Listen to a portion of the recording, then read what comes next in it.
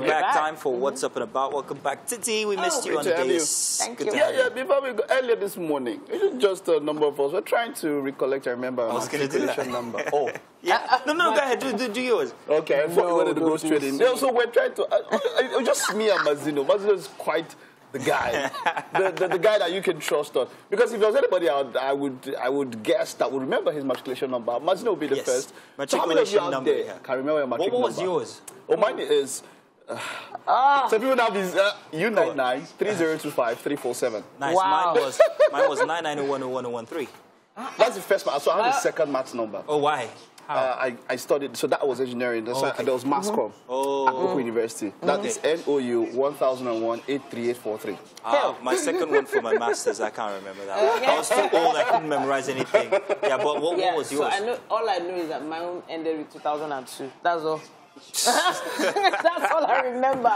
In any because case- I did, I had two different matric numbers as well from the Polytechnic and then of course University of Lagos. Okay. So yeah. Well, now that we have uh, settled the fact that we're educated, let's talk about our compatriots man. who are actually still at home at this point. Now, um, the uh, ASUU has been on strike for quite a while. They say eight weeks, but honestly, it's been longer than eight weeks.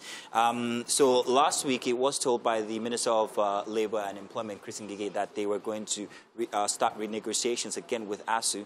And this was last week. Came out in the papers that we're going to start talks. However, as of this morning here, President of ASUU himself, Professor Osodeke, I got that right. Oshodeke. Yes. uh, has told that they have received no such information about a meeting and that they were moving on to indefinite strike. Now, note they had been on warning strike for the Yeah. past eight hmm. weeks. I don't know what the difference is.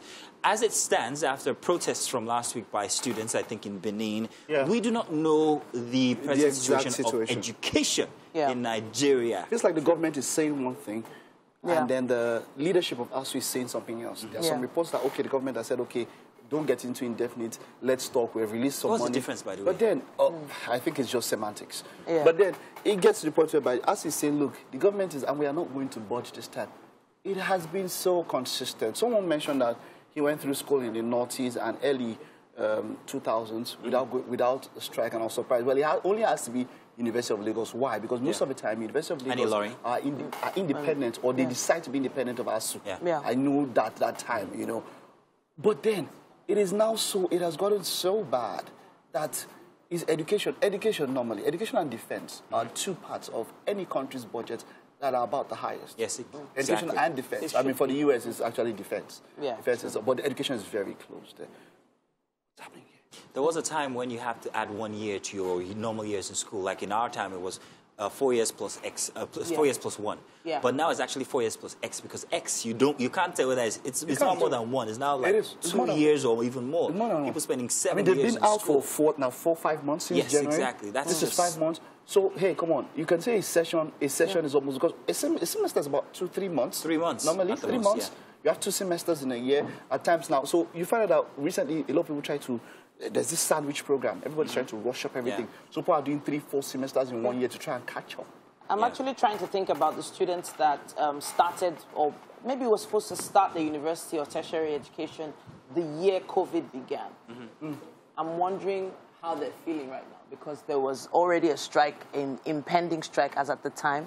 Then COVID happened, and then happened. so much more is happening. That's so two years to your education. too many variables going on, uh, and I know a lot of people have just taken the private route to just avoid these things. Speaking of the private route, I will tell you that the private route actually has become like the Yeah. the only way now. And it's extremely expensive. It is extremely, and that's the problem. It is extremely expensive. So now, what this is doing is that it is only making people who can afford, us, rich people who can afford education, be educated, while the lower masses cannot do that.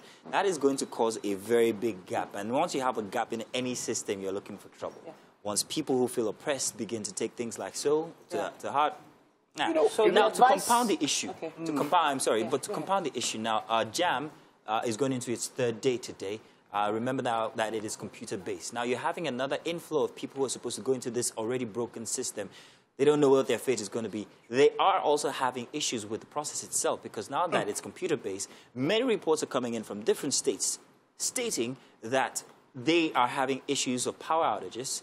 Um, biometric Yeah. capturing going wrong and all of that. Biometric so the you're right. process fact, from get-go is so fractured. They said they had done like one hour of the exam or 30 minutes, and Yeah. then there was a power outage. Wow. And those, they were complaining, they were outside. And I don't know how, um, uh, what the background work, works like when it comes to that CBT, the computer-based test. JAMB has responded though. Okay, what you know what they said?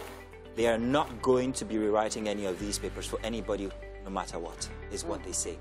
The inconsideration of it is is a bit shocking that that would be the tone that they would take, especially noting the challenges that we go through in Nigeria when it comes to power.